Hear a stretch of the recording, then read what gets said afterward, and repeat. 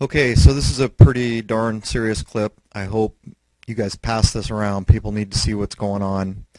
I was setting up my scope. Croat said, hey, look, there's an orb. And so manually I tried to get it in my scope's viewfinder, which is not an easy task. Anyhow, here's what I picked up.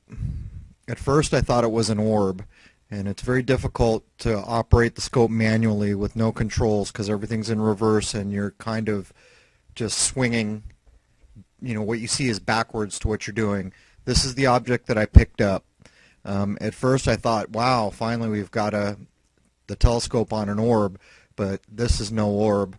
Um, I've seen orbs and I've seen a lot of things that are bright like a welding arc. This thing was super super white but the sun is going down behind it. Now what happened here was there was a chemtrail that it's going through now that had been laid I don't know 10 minutes prior 15 minutes prior. It was already starting to widen out. And then there was a fresh chemtrail laid just over it. Now I assume this was dropped out of that chemtrail plane. I don't know where else it could have come from. Um, the chemtrails were very low and close together. Um, as you can see, it almost looks like it has a phase on it. I don't know whether it's the sun coming through this thing or what's going on. But uh, as this thing began to drop, I noticed another thing. You can see the chemtrails are going to the left, and this round, I'll call it an orb, it's not an orb, uh, is going to the right, almost like it's being controlled somehow. It's going against the breeze that's pushing the chemtrails to the left. Now, watch this clip until 3 minutes and 30 seconds. You have to see what happens here. Um, this was done over solid houses, miles and miles of solid houses. And I tracked it all the way down to the roof of my house, blocked me from seeing any further. And I edited this down because I have 15 or 20 minutes worth of footage of this falling. But anyhow, in a second here, you're going to see what happens. Um, here it comes. Boom.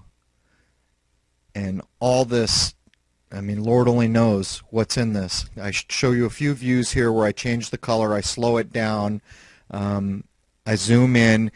Now, here comes again, and it looks like it got shot or something, but I didn't hear any bullet or anything like that. It just blew up.